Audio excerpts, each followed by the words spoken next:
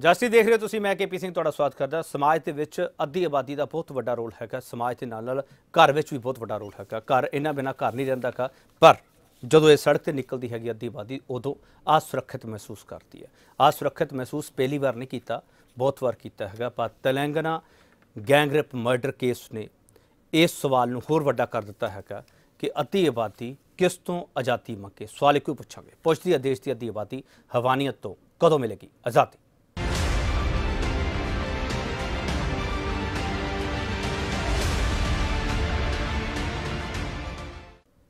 ਨਿਰਭੈ ਤੋਂ ਦਿਸ਼ਾ ਤੱਕ ਕੀ ਬਦਲਿਆ ਸੜਕ ਤੋਂ ਸੰਸਦ ਤੱਕ ਹੰਗਾਮਾ ਹੋ ਰਿਹਾ ਸਵਾਲ ਪੁੱਛੇ ਜਾ ਰਹੇ ਹੈ ਕਿ ਤੇ ਇਸ ਦੇ ਵਿਚਾਲੇ ਬਿਆਨਬਾਜ਼ੀ ਕੀ ਹੋ ਰਹੀ ਹੈ ਪਹਿਲਾਂ ਸੁਣ ਲਈਏ ਉਸ ਤੋਂ ਬਾਅਦ ਡਿਬੇਟ ਅੱਗੇ ਵਧਾਵਾਂਗੇ जो जघन्य कृत्य हो रहे हैं तो इस संबंध में मैं कहना चाहूंगा अ, अध्यक्ष महोदय कि सदन में भी आप चर्चा कराना चाहते हो तो हमें कोई आपत्ति नहीं होगी सारे सदन की भावनाओं को देखकर इस प्रकार की घटना के लिए जो भी जिम्मेदार है जो भी अपराधी हैं उनके खिलाफ कठोरतम कार्रवाई करने के लिए जो भी प्राविजन करना होगा यह सरकार वह प्राविजन करने को तैयार है। बहुत कानून बनाए हमने इससे पहले भी। लेकिन कभी कभी ऐसा देखा जाता है कि खाली कानून बनाने से ही समस्या हल नहीं हो सकती। इस बीमारी को जड़ से खत्म करने के लिए पूरे देश, पूरे समाज को खड़ा होना होगा। और हर लेवल पे खड़ा होना होगा। और हर जगह प्रचार होना चाहिए। न सिर्फ़ पार्लियामेंट के अंदर विधानसभाओं के अंदर बल्कि एजुकेशन इंस्टीट्यूशंस के अंदर प्राइवेट इंस्टीट्यूशंस के अंदर एक वातावरण बनाने की ज़रूरत है। I need, I think the people now want the government to give a proper answer and a very definite answer. What has happened, how they have tackled it, and how far the justice has been done to these people. Sir मैं मुझे ये लगता है कि ये जो घटना हैदर- हैदराबाद में हुई उसके पहले दिन भी उसी जगह एक हादसा हुआ। क्या वहाँ के जो सिक्योरिटी इंचार्ज हैं मैं किसी का नाम नहीं ले रही हूँ आपको भी पता है। Do you not think that they should be answered करना है इस अपराध के खिलाफ लड़ना है। मानवर सख्त कानून भी बनाए गए, मैं इससे इनकार नहीं कर रहा हूँ। लेकिन उन सख्त कानूनों का अमल कहाँ हो रहा है मानवर? उन सख्त कानूनों का अमल नहीं हो पाने की वजह से आज भी निर्भया की माँ न्याय के लिए तरस रही है मान्यवर आज भी उन लोगों को जिनको कोर्ट ने फांसी की सजा दी, उनको फांसी नहीं हो पाई मान्यवर मैं आपके माध्यम से अनुरोध करना चाहता हूँ सरकार से। मुजफ्फरपुर कांड हुआ, देवरिया कांड हुआ, चार साल, छह साल, दस साल की बच्चियों के साथ बलात्कार की घटनाएँ सामने आती हैं, उनकी हत्या कर दी जाती है मान्यवर। मैं हाथ जोड़कर निवेदन करूँगा इस सरकार से, कृपा करके कुछ सख्त कदम उठाइए।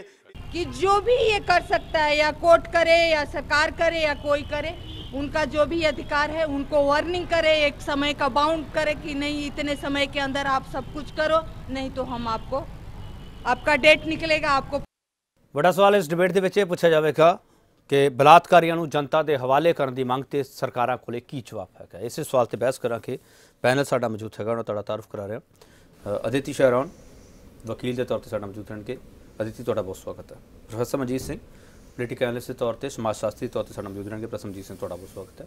ਡਾਕਟਰ ਪਿਆਲਾ ਕਰਕ ਐਕਟਿਵਿਸਟ ਦੇ ਤੌਰ ਤੇ ਸਾਡਾ ਮੌਜੂਦ ਰਹਿਣਗੇ।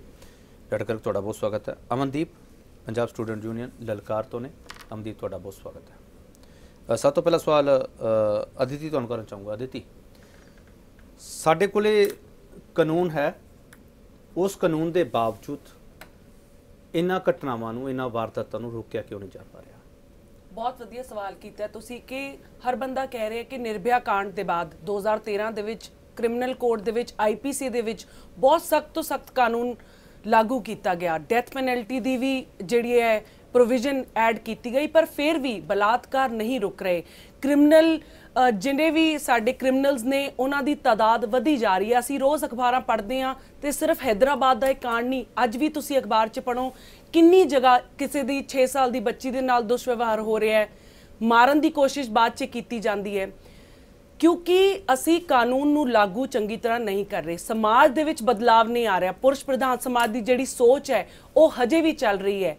ਇਸ ਕਾਨੂੰਨ ਨੂੰ ਇੰਪਲੀਮੈਂਟ ਸਰਕਾਰਾਂ ਨਹੀਂ ਕਰ ਰਹੀਆਂ। ਜਿਹੜਾ ਫੰਡ ਬਣਾਇਆ ਗਿਆ ਨਿਰਭਿਆ ਕਾਂਡ ਦੇ ਵਿੱਚ, ਸਿਰਫ 10% ਜਿਹੜਾ ਫੰਡ ਹੈ, ਉਹ ਯੂਜ਼ ਕੀਤਾ ਗਿਆ ਹੈ। ਸੀਸੀਟੀਵੀ ਕੈਮਰਾਜ਼ ਕਹੇ ਗਏ ਸੀ, ਵਰਮਾ ਕਮੇਟੀ ਦੇ ਤਹਿਤ ਕਿ ਸਾਰੀ ਆਪਣਾ ਜਿਹੜੇ ਵੀ ਰੋਡਸ ਨੇ, ਆਪਣੇ ਐਜੂਕੇਸ਼ਨਲ ਇੰਸਟੀਟਿਊਟਸ ਦੇ ਬਾਹਰ ਉਹ ਲਗਾਏ ਜਾਣ, ਉਹ ਨਹੀਂ ਲਗਾਏ ਗਏ।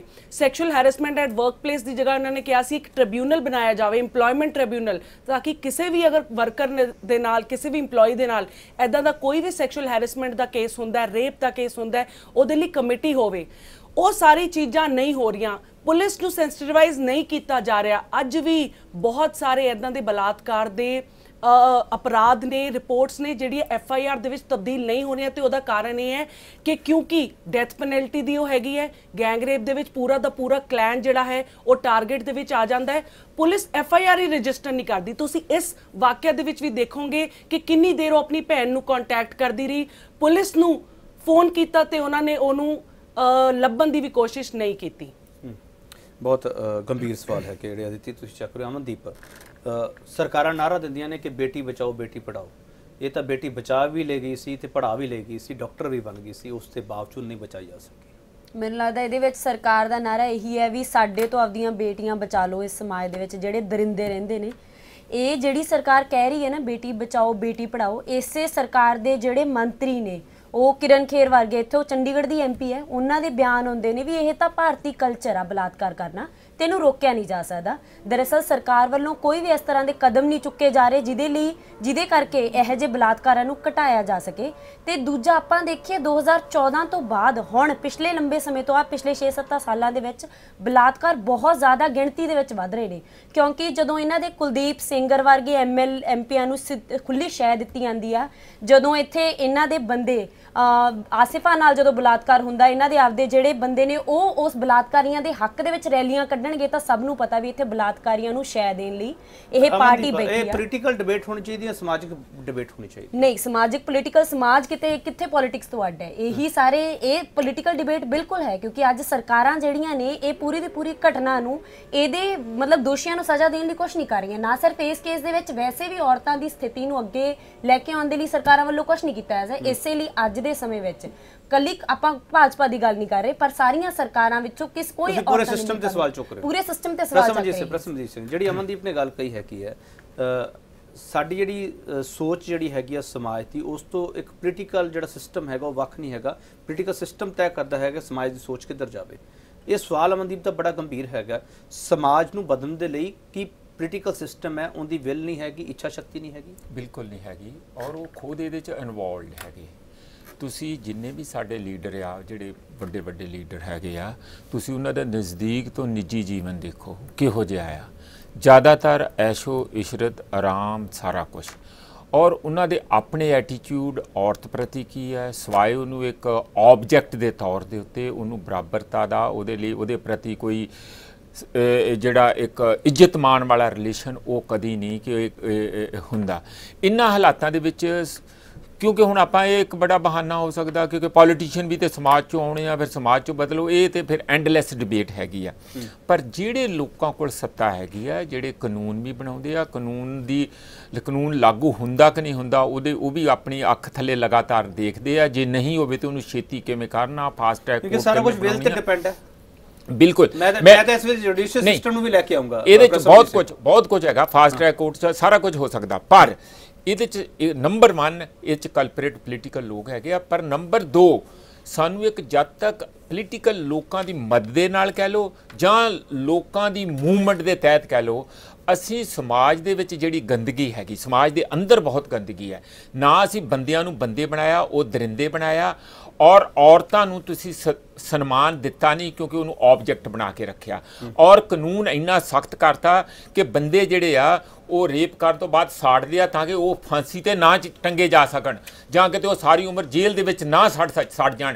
ਇਹ ਸਾਰੀ ਗੱਲ ਦਾ ਰਿਵਿਊ ਜਿਹੜੇ ਜੇ ਮੇਰੇ ਵਰਗੇ ਸਧਾਰਨ ਬੰਦੇ ਨੂੰ ਪਤਾ ਲੱਗਦਾ ਕਿ ਇਹਦੇ ਕਾਰਨ ਕੀ ਹੈ ਕਿਉਂ ਇਸ ਤਰ੍ਹਾਂ ਸਾਰਾ ਹੀਨਸ ਕ੍ਰਾਈਮ ਹੁੰਦਾ ਭਾਵੇਂ ਉਹ ਤੁਸੀਂ ਤਾਂ ਕਠੂਆ- ਡਿਬੇਟ ਨੂੰ ਵੱਖਰਾ ਰੂਪ ਦਿੱਤਾ ਕਿ ਕਾਨੂੰਨ ਸਖਤ ਹੈਗਾ ਇਸ ਕਰਕੇ ਉਹ ਸਾੜ ਵੀ ਰਹੇ ਹੈਗੇ ਮਾਰ ਵੀ ਰਹੇ ਬਿਲਕੁਲ ਕਠੂਆ ਵਾਲੀ ਕੁੜੀ ਨੂੰ ਜਿਸ ਤਰ੍ਹਾਂ ਮਾਰਿਆ ਸੀ ਉਹ ਛੋਟੀ ਜੀ ਕੁੜੀ ਉਹਨੂੰ ਮਾਰ ਦਿੱਤਾ ਕਿ ਕੋਈ ਪ੍ਰੂਫ ਨਾ ਰਹੇ। ਉਹ ਗੱਲ ਲੱਗ ਗਿਆ ਕਿ ਕੋਈ ਕੇਸ ਇਹਨੇ ਹਾਈਲਾਈਟ ਹੈ, ਜਾਂਦੇ ਠੀਕ ਹੈ। ਮੈਂ ਬਹੁਤ ਬਹੁਤ ਸੰਜੀਦਾ ਡਿਬੇਟ ਚਾਹੁੰਦਾ ਤੇ ਮੈਂ ਥੋੜਾ ਬ੍ਰੇਕ ਲਵਾਂਗਾ ਬ੍ਰੇਕ ਤੋਂ ਵਾਪਸ ਆਵਾਂਗੇ। ਸਵਾਲ ਬਹੁਤ ਸਾਰੇ ਹੈਗੇ ਤੇ ਇਹਨਾਂ ਸਵਾਲਾਂ ਦੇ ਵਿਚਾਲੇ ਇਹ ਵੀ ਹੈਗਾ ਕਿ ਮੋਮਬੱਤੀਆਂ ਜਗਾਉਣ ਦੇ ਨਾਲ ਮਸਲੇ ਦਾ ਹੱਲ ਹੋਵੇਗਾ? ਪੀੜੇ ਮੰਗ ਕਰਦੀ ਪਈ ਹੈਗੀ ਹੈ ਜਨਤਾ ਇਹ ਮੰਗ ਕਰਦੀ ਪਈ ਹੈਗੀ ਹੈ ਸੋਸ਼ਲ ਮੀਡੀਆ ਤੋਂ ਲੈ ਕੇ ਹਰ ਮੀਡੀਆ ਤੱਕ ਇਹ ਆਵਾਜ਼ ਪਹੁੰਚਾਈ ਜਾ ਰਹੀ ਹੈ ਕਿ ਦਰਿੰਦਿਆਂ ਨੂੰ ਫੜ ਕੇ ਉਹਨਾਂ ਨੂੰ ਫਾਂਸੀ ਦੇ ਦਿਓ। ਭਰੀ ਜਨਤਾ ਦੇ ਵਿਚਾਲੇ ਉਹਨਾਂ ਨੂੰ ਸੂਲੀ ਤੇ ਟੱਕ ਦਿਓ ਤੇ ਜਦੋਂ ਇਹ ਸਵਾਲ ਹੈ, ਸਿਆਸਤਦਾਨ ਵੀ ਪੁੱਛਣ ਲੱਗ ਪੈਣ ਤਾਂ ਫਿਰ ਸਰਕਾਰਾਂ ਜਵਾਬ ਕੀ ਦੇਣਗੀਆਂ? ਬਿਲਕੁਲ ਵਾਪਸ ਆ ਕੇ ਇਹ ਸਵਾਲ ਬੜਾ ਅਹਿਮ ਹੈ। ਸਵਾਲ ਇੱਕੋ ਹੀ ਪੁੱਛ ਰਿਹਾ ਸਵਾਲ ਵੱਡਾ ਇਹ ਪੁੱਛ ਰਿਹਾ ਬਲਾਤਕਾਰੀ ਨੂੰ ਜਨਤਾ ਦੇ ਹਵਾਲੇ ਕਰਨ ਦੀ ਮੰਗ ਤੇ ਸਰਕਾਰਾਂ ਕੋਲੇ ਕੀ ਜਵਾਬ ਹੈਗਾ? ਡਾਕਟਰ ਗਰਗ ਡਾਕਟਰ ਨੂੰ ਬਹੁਤ ਕੁਝ ਸੋਚਣਾ ਪੈਂਦਾ, ਬਹੁਤ ਕੁਝ ਦੇਖਣਾ ਪੈਂਦਾ, ਜਦੋਂ ਇਸ ਸਮਾਜ ਦੇ ਵਿੱਚ ਵਿਚਰਨਾ ਪੈਂਦਾ, ਕਿਉਂਕਿ ਡਾਕਟਰ ਦੇ ਕੋਲੇ ਇਹੋ ਜਿਹੇ ਕੇਸਸ ਅਕਸਰ ਹੁੰਦੇ ਹੈਗੇ। ਪਰ ਜਦੋਂ ਖੁਦ ਇੱਕ ਡਾਕਟਰ ਸ਼ਿਕਾਰ ਹੋ ਜਾਵੇ ਹਾਲਾਂਕਿ ਉਹਨਾਂ ਦਾ ਜਿਹੜਾ ਪ੍ਰੋਫੈਸ਼ਨ ਹੈਗਾ ਉਹ ਵੈਟਰਨਰੀ ਡਾਕਟਰ ਹੋ ਸਕਦੇ ਹੈਗੇ ਆ ਪਰ ਸਵਾਲ ਇਹ ਹੈਗਾ ਡਾਕਟਰ ਗਰਗ ਤੁਸੀਂ ਆਪਦੀ ਗੱਲ ਵੀ ਕਹਿ ਲਿਓ ਪਰ ਮੇਰਾ ਪਹਿਲਾਂ ਮੈਨੂੰ ਮੇਰੇ ਸਵਾਲ ਦਾ ਜਵਾਬ ਦੇ ਦਿਓ। ਜਿਹੜਾ ਇੱਕ ਚਰਚਾ ਚੱਲ ਰਹੀ ਹੈ ਕਿ ਭਰੇ ਚੌਂਕ ਦੇ ਵਿਚਾਲੇ ਖੜਾ ਕੇ ਇਹਨਾਂ ਬਲਾਤਕਾਰੀਆਂ ਨੂੰ ਸਾੜ ਦਿੱਤਾ ਜਾਵੇ ਜਾਂ ਫਾਂਸੀ ਦੇ ਦਿੱਤੀ ਜਾਵੇ ਸੂਲੀ ਤੇ ਟੰਗ ਦਿੱਤਾ ਜਾਵੇ ਉਸ ਚਰਚਾ ਦੇ ਬਾਰੇ ਪਹਿਲਾ ਪ੍ਰਤੀਕਰਮ ਕੀ ਹੋਵੇਗਾ ਦੇਖੋ ਮੈਨੂੰ ਐਂ ਲੱਗਦਾ ਵੀ ਜਿਹੜਾ ਵੀ ਚੌਂਕ 'ਚ ਮਾਰ ਦੋ ਫੜ ਕੇ ਮਾਰ ਦੋ ਭੀੜ ਤੰਤਰ ਅਸੀਂ ਵੀ ਮੈਨੂੰ ਲੱਗਦਾ ਉਸੇ ਭੀੜ ਤੰਤਰ ਵੱਲ ਨੂੰ ਇਸ ਗੱਲ ਨੂੰ ਕਹਿ ਕੇ ਵੱਧ ਰਹਾਂਗੇ। ਕਿਉਂਕਿ ਪਹਿਲਾਂ ਨਿਰਵੈਆ ਕਾਂਡ 'ਚ ਹੁਣ ਤੱਕ ਉਹ ਫਾਂਸੀ ਵੈਸੇ ਨਹੀਂ ਹੋਈ ਕਾਨੂੰਨ ਲੇਟ ਹੋਣ ਕਰਕੇ। ਤੇ ਇਹੋ ਜਿਹਾ ਕੋਈ ਇੱਕ ਮੁਲਕ ਨੇ ਲਾਤਾ ਵੀ ਜਿਹੜੇ ਜੇਬ ਕਤਰੇ ਨੇ ਉਹਨਾਂ ਨੂੰ ਪਬਲਿਕਲੀ ਫਾਂਸੀ ਦੇ ਦਿਓ ਕਿ ਤਾਲਿਬਾਨ ਦੌਰ ਵੱਲ ਵਧਾਇਆ ਜਾ ਰਿਹਾ। ਤੇ ਉਹ ਪਬਲਿਕਲੀ ਫਾਂਸੀ ਦੇ ਦਿੰਦੇ ਸੀਗੇ ਲੋਕ ਬੜੇ ਇਕੱਠੇ ਹੁੰਦੇ ਸੀ ਯਾਨੀ ਕਿ ਸੂਲੀ ਤੇ ਚੜ੍ਹ ਦੋ ਤੇ ਉੱਥੇ ਵੀ ਜੇਬਾਂ ਕੱਟੀਆਂ ਜਾ ਰਹੀਆਂ ਸੀ। ਬਹੁਤ ਜ਼ਿਆਦਾ ਸਖਤ ਸਜ਼ਾ ਸਖਤ ਸਜ਼ਾ ਹੋਣੀ ਚਾਹੀਦੀ ਆ, ਉਹ 'ਚ ਕੋਈ ਮੇਰਾ ਦੋ ਰਾਏ ਨਹੀਂ ਹੈਗੇ। ਫਾਸਟ ਟਰੈਕ ਕੋਰਟਸ ਹੋਣੀਆਂ ਚਾਹੀਦੀਆਂ ਨੇ, ਜਲਦੀ ਫੈਸਲੇ ਹੋਣੇ ਚਾਹੀਦੇ ਇਹ ਸਭ ਕੁਝ ਚਾਹੀਦਾ ਪਰ ਕੱਲੀਆਂ ਜਿਹੜੀਆਂ ਸਜ਼ਾਵਾਂ ਦੇ ਨਾਲ ਇਹ ਸਾਰਾ ਕੁਝ ਜਿਹੜਾ ਹੈਗਾ, ਇਹ ਘਟ ਨਹੀਂ ਸਕਦਾ ਤੇ ਨਾ ਹੀ ਰੁਕੇ। ਇਹਨੂੰ ਰੁਕਣ ਵਾਸਤੇ ਦੋ ਚੀਜ਼ਾਂ ਦੀ ਲੋੜ ਹੈ। ਇੱਕ ਮਾਨਸਿਕਤਾ ਬਦਲਣੀ ਹੈ, ਜਿਹੜੀ ਔਰਤ ਨੂੰ ਅਸੀਂ ਬਿਲਕੁਲ ਇੱਕ ਵਸਤੂ ਬਣਾ ਕੇ ਰੱਖਿਆ ਹੋਇਆ ਹੈ। ਉਹ ਜਿਹੜਾ ਮਰਜ਼ੀ ਵੱਡੇ ਤੋਂ ਵੱਡਾ ਘਰ ਹੈ, ਛੋਟੇ ਤੋਂ ਛੋਟਾ ਘਰ ਹੈ ਕੁਝ ਚੰਦ ਘਰ ਹੋਣਗੇ ਜਿਹੜੇ ਕਹਿਣਗੇ ਨਹੀਂ ਨਹੀਂ ਅਸੀਂ ਕੁੜੀਆਂ ਨੂੰ ਬਰਾਬਰ ਸਮਝਦੇ ਹਾਂ ਔਰਤਾਂ ਨੂੰ ਕੋਈ ਬਰਾਬਰ ਨਹੀਂ ਸਮਝਦਾ। ਇਹ ਕਹਿਣ ਨੂੰ ਜੋ ਮਰਜ਼ੀ ਕਹੀ ਜਾਣ। ਕਦੇ ਨਾ ਕਦੇ ਮੂੰਹ ਚੋਂ ਨਿਕਲ ਜਾਂਦਾ ਹੈ ਤੇ ਉਹ ਤੋਂ ਪਤਾ ਲੱਗ ਜਾਂਦਾ ਵੀ ਮਾਨਸਿਕਤਾ ਤਾਂ ਉੱਥੇ ਖੜੀ ਹੈ ਇੱਕ। ਦੂਜੀ ਗੱਲ ਇਹ ਹੈ ਵੀ ਸਮਾਜ ਨੂੰ ਫਿਰ ਕਿਹਨੇ ਬਦਲਣਾ ਸੀ? ਸਮਾਜ ਨੂੰ ਜਿਹੜੀਆਂ ਡਾਇਰੈਕਸ਼ਨ ਦੇਣ ਵਾਲੀਆਂ ਦੋ ਵੱਡੀਆਂ ਅਥਾਰਟੀਆਂ ਨੇ ਹੁਣ ਸਾਡੇ ਸਾਹਮਣੇ ਇੱਕ ਸੋ ਕਾਲਡ ਧਰਮ ਦੀ ਅਥਾਰਟੀ ਇੱਕ ਸਰਕਾਰ ਦੀ। ਧਰਮ ਵਾਲੇ ਤਾਂ ਆਪਾਂ ਨੂੰ ਪਤਾ ਕਿੰਨੇ ਅੰਦਰ ਨੇ ਪਹਿਲਾਂ ਹੀ ਬਲਾਤਕਾਰਾਂ ਦੇ ਮਾਮਲੇ 'ਚ ਹੀ। ਸੋ ਉਹ ਤੋਂ ਤਾਂ ਕੋਈ ਆਸ ਰੱਖੀ ਨਹੀਂ ਜਾ ਸਕਦੀ। ਸਿਆਸਤਦਾਨ ਨੇ ਅੱਜ ਇਸ ਪੱਧਰ ਤੇ ਚਲੇ ਗਏ, ਜਿਹੜੀ ਮਰਜ਼ੀ ਪਾਰਟੀ ਦੇ ਹੁਣ, ਕੋਈ ਬਾਬਰ ਕੇ ਕਹਿੰਦੇ ਕੋਈ ਉਦਾਂ ਕਹਿੰਦੇ ਨੇ, ਜੇ ਤਾਂ ਮਿਨੋਰਟੀਜ਼ ਦਾ ਰੇਪ ਹੁੰਦਾ ਤਾਂ ਤਾਂ ਜਿਹੜੀ ਹੋਣ ਵਾਲੀ ਸਰਕਾਰ ਉਹ ਤਾਂ ਕਹਿੰਦੇ ਕੋਈ ਨਹੀਂ ਤਾਂ ਮਿਨੋਰਟੀ ਉਹਨਾਂ ਨੂੰ ਉਹ ਬੰਦੇ ਹੀ ਨਹੀਂ ਲੱਗਦੇ। ਉਹਨਾਂ ਵਾਸਤੇ ਤਾਂ ਇਹ, ਇਹਦਾ ਕੋਈ ਚੱਕਰ ਹੀ ਨਹੀਂ ਹੈ। ਜੋ ਮਰਜ਼ੀ ਇੱਕ ਬੱਚੀ ਨਾਲ, ਜੋ ਮਰਜ਼ੀ ਬਲਾਤਕਾਰ ਹੋਵੇ, ਜੇ ਦਲਤਾਂ ਨਾਲ ਹੁੰਦਾ, ਉਹਦੇ ਵਾਸਤੇ ਵੀ ਉਹਨਾਂ ਨੂੰ ਕੋਈ ਨਹੀਂ ਹੈ, ਕਿਉਂਕਿ ਉਹ ਤਾਂ ਮਨੂ ਸਮਰਤੀ ਨੂੰ ਮੰਨਦੇ ਨੇ। ਇਸ ਤੋਂ ਅੱਗੇ ਜਿਹੜਾ ਔਰਤ ਨਾਲ ਵੈਸੇ ਉਹਨਾਂ ਦੀ ਆਪਣੀ ਜਾਤੀ, ਉੱਚੀ ਜਾਤੀ ਔਰਤਾਂ ਨਾਲ ਵੀ, ਲੜਕੀਆਂ ਨਾਲ ਵੀ ਬਲਾਤਕਾਰ ਹੁੰਦੇ ਨੇ। ਉੱਥੇ ਉਹਨਾਂ ਦਾ ਬਹਾਨਾ ਇਹ ਜੀ ਕੱਪੜੇ ਛੋਟੇ ਪਾਉਂਦੇ ਨੇ, ਇਹ ਤਾਂ ਜੀ ਆਪਣੇ ਬਿੰਦੀ ਸੁਰਖੀ ਲਾ ਕੇ ਬਾਹਰ ਨਿਕਲਦੇ ਨੇ, ਇਹ ਤਾਂ ਜੀ ਆਪਣਾ ਧਿਆਨ ਨਹੀਂ ਰੱਖਦੇ ਜੀ, ਇਹ ਰਾਤ ਨੂੰ ਲੇਟ ਕਿਉਂ ਜਾਂਦੇ ਨੇ ਜੀ? ਉਹਨਾਂ ਨੂੰ ਪੁੱਛੋ ਵੀ ਔਰਤ ਨੂੰ ਕੋਈ ਆਜ਼ਾਦੀ ਨਹੀਂ, ਉਹ ਬਾਹਰ ਨਹੀਂ ਜਾ ਸਕਦੀ। ਤੇ ਇਹ ਜਿਹੜੇ ਟ੍ਰਾਈਬਲ ਲੋਕ ਨੇ, ਉਹਨਾਂ ਕੋਲ ਤਾਂ ਕੱਪੜੇ ਹੁੰਦੀ ਅੱਧੇ ਨੇ। ਜਿਹੜੇ ਗਰੀਬ ਲੋਕ ਨੇ, ਉਹਨਾਂ ਕੋਲ ਤਾਂ ਕੱਪੜੇ ਹੁੰਦੇ ਹੀ ਨਹੀਂ ਵਿਚਾਰਿਆਂ ਕੋਲੇ। ਤੇ ਤੁਸੀਂ ਕੱਪੜਿਆਂ ਤੇ ਇਹਨਾਂ ਦੇ ਸਾਖੀ ਮਹਾਰਾਜ ਇਹਨਾਂ ਦੇ ਕਿੰਨੀ ਹਰੇਕ ਜਦ ਇਹਨਾਂ ਦੇ ਚੁਣੇ ਹੋਏ ਨੁਮਾਇੰਦੇ ਜਿਨ੍ਹਾਂ ਨੂੰ ਤੁਸੀਂ ਲੋਕਾਂ ਦੇ ਨੁਮਾਇੰਦੇ ਬਣਾਇਆ ਪਾਰਲੀਮੈਂਟ 'ਚ ਭੇਜਿਆ ਹੋਇਆ ਜਾਂ ਵਿਧਾਨ ਸਭਾ ਵਿੱਚ ਭੇਜਿਆ ਉਹ ਸ਼ਰੇਆਮ ਕਹਿੰਦੇ ਨੇ ਵੀ ਇਹ ਤਾਂ ਔਰਤਾਂ ਦਾ ਆਪਣਾ ਕਸੂਰ ਹੈ ਜੇ ਹੋ ਗਿਆ। ਮੈਂ ਤਾਂ ਇੱਥੋਂ ਤੱਕ ਹੈਰਾਨ ਮੰਨ ਗਿਆ ਪੰਜਾਬ ਦੇ ਵਿੱਚ ਇੱਕ ਬਲਾਤਕਾਰ ਕੁੜੀ ਦਾ ਹੋਇਆ। ਲੁਧਿਆਣੇ ਜ਼ਿਲ੍ਹੇ 'ਚ। ਉਹਦੀ ਟਰਮੀਨੇਸ਼ਨ ਕਰਾਈ ਗਈ। ਚੁਣੀਆਂ ਹੋਈਆਂ ਟੀਚਰ ਜਥੇਬੰਦੀਆਂ ਨੇ ਕਹਿਤਾ ਵੀ ਇਹ ਮਾਪਿਆਂ ਦਾ ਕਸੂਰ ਹੈ ਜਾਂ ਕੁੜੀ ਦਾ ਕਸੂਰ ਹੈ। 11ਵੀਂ ਦੀ ਕੁੜੀ ਸੀ। ਹੁਣ ਇੱਥੇ ਤੱਕ ਜੇ ਸਾਡੀ ਮਾਨਸਤਾ ਚਲੀ ਗਈ ਜਿੱਥੇ ਅਸੀਂ ਇਨਸਾਫ ਦੇ ਉੱਤੇ ਵੀ ਜੇ ਗਦੀ ਮਾਰੀ ਸਾਡੇ ਆਨੰਦਕੋਪ ਤਾਂ ਗਦੀ ਮਾਰੀ ਦਾ ਨਹੀਂ ਕੋਈ ਦੋਸ਼ ਵੀ ਜੇ ਸਾਡੇ ਫਿਰਕੇ ਨੇ ਸਾਡੇ ਕਿੱਤੇ ਵਾਲਿਆਂ ਨੇ ਸਾਡੇ ਨੇੜੇ ਦਿਆਂ ਨੇ ਸਾਡੇ ਪਿੰਡ ਦਿਆਂ ਨੇ ਸਾਡੇ ਘਰਦਿਆਂ ਨੇ ਕੋਈ ਬਲਾਤਕਾਰ ਕਰਿਆ ਫਿਰ ਤਾਂ ਕੋਈ ਖਾਸ ਗੱਲ ਨਹੀਂ। ਸਾਡੀ ਇਹ ਸਮੱਸਿਆ ਵੱਡੀ ਹੈ। ਸਮੱਸਿਆ ਵੱਡੀ ਹੈ। ਕਿ ਤੁਸੀਂ ਪੁਆਇੰਟ ਬੜਾ ਮਹੱਤਵਪੂਰਨ ਚੁੱਕਿਆ ਹੈਗਾ ਅਮਨਦੀਪ। ਡਟ ਕਰਕੇ ਕਹਿ ਰਹੇ ਹੈਗੇ ਕਿ ਕੁੜੀਆਂ ਤੇ ਰੋਕਾਂ ਲਾਈ ਜਾ ਰਹੀਆਂ ਹੈਗੀਆਂ। ਹੁਣ ਵੀ ਪੁਲਿਸ ਦੀ ਇਨਸਟਰਕਸ਼ਨ ਉੱਥੇ ਆ ਰਹੀ ਹੈਗੀ ਹੈ ਕਿ ਦੱਸ ਕੇ ਜਾਇਆ ਕਰੋ ਜੇ ਕਿਤੇ ਜਾ ਰਹੇ ਹੋ ਤਾਂ ਦੱਸੋ। ਮੇਰਾ ਸਵਾਲ ਇਹ ਹੈਗਾ ਕਿ ਕੁੜੀਆਂ ਹੀ ਕਿਉਂ ਦੱਸਣ? ਜਦੋਂ ਘਰੋਂ ਨਿਕਲਦੀਆਂ ਘਰੇ ਦੱਸ ਕੇ ਜਾਂਦੀਆਂ ਨਾ ਅਸੀਂ ਕਿੱਥੇ ਚੱਲੀਆਂ ਹੈਗੀਆਂ। ਉਸ ਤੋਂ ਬਾਅਦ ਵੀ ਉਹ ਅਲਰਟ ਕਰਨ ਇੰਟੀਮੇਸ਼ਨ ਇੰਟੀਮੇਸ਼ਨ ਦੇਣ ਫਿਰ ਹੈਲਪਲਾਈਨ ਨੰਬਰ ਉਹਨਾਂ ਲਈ ਜਾਰੀ ਹੁੰਦਾ। ਹੈਲਪਲਾਈਨ ਨੰਬਰ ਜਾਰੀ ਹੋਣਾ ਚਾਹੀਦਾ। ਪਰ ਹੈਲਪਲਾਈਨ ਨੰਬਰ ਤੇ ਹਮੇਸ਼ਾ ਦੱਸ ਕੇ ਜਾਊਗੀ ਕਿ ਮੈਂ ਇੱਥੇ ਚੱਲੀ ਹਾਂ। ਨਹੀਂ, ਉਹੀ ਹੈ ਨਾ ਵੀ ਸਮਾਜ ਦੇ ਵਿੱਚ ਮਰਦ ਪ੍ਰਧਾਨ ਮਾਨਸਿਕਤਾ ਬਹੁਤ ਜ਼ਿਆਦਾ ਪਈ ਆ। ਤੇ ਇੱਥੇ ਵੀ ਜਿਹੜੀ ਆ ਸੋਚ ਵੀ ਹੈ ਵੀ ਔਰਤਾਂ ਨੂੰ ਦੱਸ ਕੇ ਜਾਣਾ ਚਾਹੀਦਾ ਤਾਂ ਕਿ ਅਸੀਂ ਉਹਨਾਂ ਦੀ ਕਿਤੇ ਬੈਠ ਕੇ ਸੁਰੱਖਿਆ ਕਰ ਲਈਏ। ਇਹਦੇ ਵਿੱਚ ਇਹ ਕਿਤੇ ਨਹੀਂ ਝਲਕਦਾ ਵੀ ਔਰਤਾਂ ਆਪਦੀ ਸੁਰੱਖਿਆ ਆਪ ਕਰ ਸਕਦੀਆਂ ਨੇ।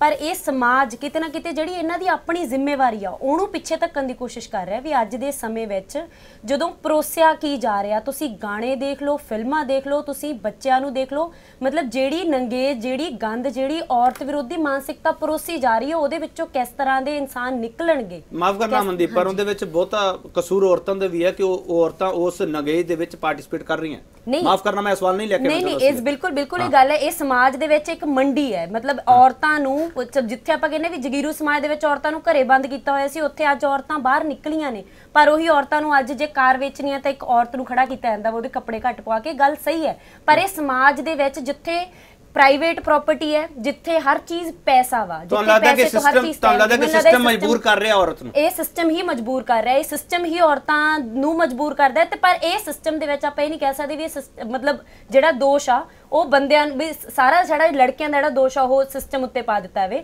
ਪਰ ਅਸਲ ਵਿੱਚ ਗੱਲ ਕੀ ਹੈ ਵੀ ਜਦੋਂ ਤੱਕ ਇਹ ਪ੍ਰਾਈਵੇਟ ਪ੍ਰਾਪਰਟੀ ਹੈ ਜਦੋਂ ਤੱਕ ਔਰਤ ਨੂੰ ਸਿਰਫ ਇੱਕ ਵਸਤੂ ਸਮਝਿਆ ਜਾਂਦਾ ਵੀ ਇਹ ਸਾਡੇ ਆਉਣ ਵਾਲੇ ਵਾਰਸ ਪੈਦਾ ਕਰਨ ਦੀ ਚੀਜ਼ ਆ ਅਸੀਂ ਇਹਦੇ ਨਾਲ ਜੋ ਚਾਹੀਏ ਉਹ ਕਰ ਸਕਦੇ ਹਾਂ ਤੇ ਸਾਡੀ ਇੱਥੇ ਕੋਈ ਸੁਣਵਾਈ ਨਹੀਂ ਹੋਊਗੀ। ਉਦੋਂ ਤੱਕ ਇਹੋ ਜਿਹੀਆਂ ਘਟਨਾਵਾਂ ਬੰਦ ਨਹੀਂ ਹੋ ਸਕਦੀਆਂ ਤੇ ਲੋਕ ਹੀ ਫੈਸਲਾ ਠੀਕ ਲੈਣਗੇ ਡਟ ਕਰਕੇ ਬਹੁਤ ਸੰਖੇਪ ਵਿੱਚ ਮੈਨੂੰ ਤੁਹਾਡਾ ਜਵਾਬ ਚਾਹੀਦਾ ਜਿਹੜਾ ਅਮਨਦੀਪ ਨੇ ਸਿਸਟਮ ਤੇ ਸਵਾਲ ਚੁੱਕਿਆ ਹੈ ਕਿ ਉਹ ਸਿਸਟਮ ਮਜਬੂਰ ਕਰ ਰਿਹਾ ਔਰਤ ਨੂੰ ਕੁੜੀ ਨੂੰ ਧੀ ਨੂੰ। ਦੇਖੋ ਬਿਲਕੁਲ ਉਹਦਾ ਸਿਸਟਮ ਮਜਬੂਰ ਕਰ ਹੀ ਰਿਹਾ ਉਹਦੇ ਕਈ ਨੇ। ਇਹ ਜਿਹੜਾ ਇੱਕ ਅਸੀਂ ਇਹਨੂੰ ਆਈਸੋਲੇਸ਼ਨ 'ਚ ਇਹ ਦੇਖਾਂਗੇ ਵੀ ਸ਼ਾਇਦ ਔਰਤਾਂ ਤੇ ਵਾਇਲੈਂਸ ਖਤਮ ਹੋ ਜੂ। ਮੈਨੂੰ ਨਹੀਂ ਲੱਗਦਾ ਮੈਂ ਇਹ ਸਪਸ਼ਟ ਕਹਿਣ ਨੂੰ ਤਿਆਰ ਹਾਂ ਵੀ ਔਰਤਾਂ ਤੇ ਕੱਲੀ ਵਾਇਲੈਂਸ ਖਤਮ ਹੋ ਜੂ ਬਾਕੀ ਭ੍ਰਿਸ਼ਟਾਚਾਰ ਇਦਾਂ ਹੀ ਚੱਲੀ ਜਾਊਗਾ ਠੱਗੀ ਚੋਰੀ ਇਦਾਂ ਹੀ ਚੱਲੀ ਜਾਊ ਗੁੰਡਾਗਰਦੀ ਇਦਾਂ ਹੀ ਚੱਲੀ ਜਾਊ ਨਸ਼ੇ ਇਦਾਂ ਹੀ ਚੱਲੀ ਜਾਣਗੇ।